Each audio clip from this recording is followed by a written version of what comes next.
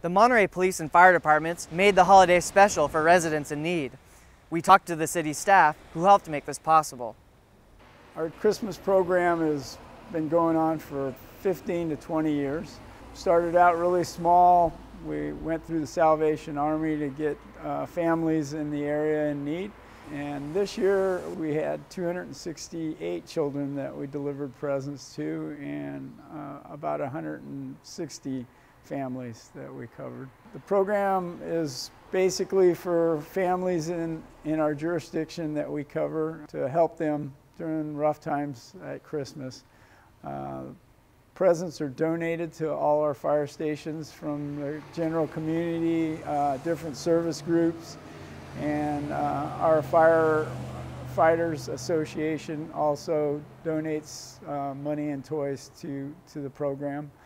Once the presents are wrapped, we go out with fire engines with Santa. We actually go to the families' homes and Santa brings the presents in with a number of elves that are helping. Once you see the children's faces light up when they see Santa, uh, it's, it's very rewarding.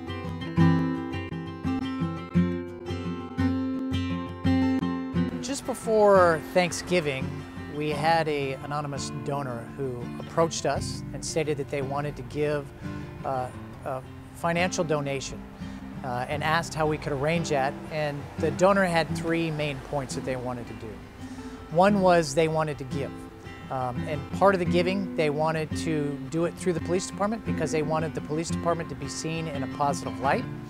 They also wanted the police to be involved because while they could go and be in the community and give, they didn't know exactly who would be most in need and where that money uh, would go that would benefit people in the best way.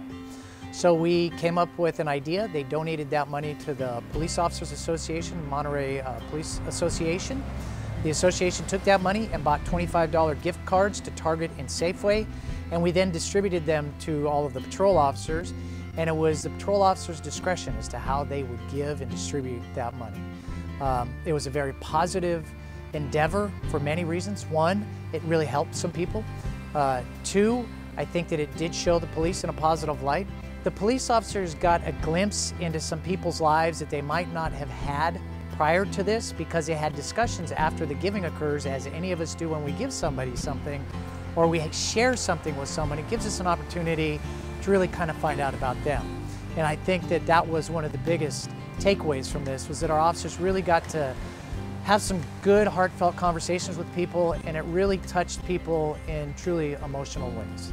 One that probably surprised me the most is I um, befriended an individual working on Cannery Row, kind of the idea of don't judge a book by its cover.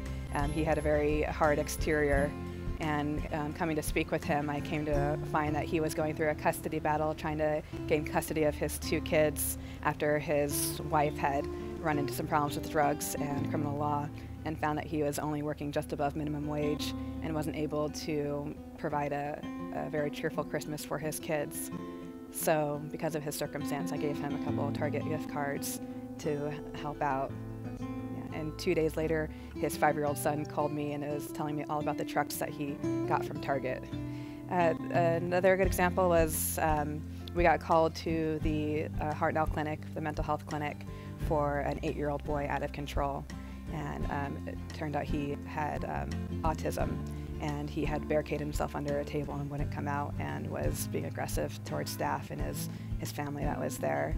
Um, after some time, we were able to um, calm him down and coax him out and get him the help he needed. But while talking to his mother, who was there, come to find out that she had um, three kids and two of the boys were autistic and they were both eight and nine years old. And she was really struggling driving up to Monterey weekly from King City for their appointments. Um, and she explained how she had been uh, ostracized and isolated from her family and a lot of her friends because they didn't know how to deal with uh, her children.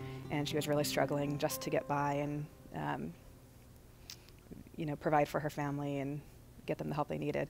So I was able to give her a couple gift cards. And it's just amazing how appreciative people become. Just a simple gesture, just a small thing, and their gratitude is just remarkable. And it really connects law enforcement with the community, and I was able to reach out on a, on a different level.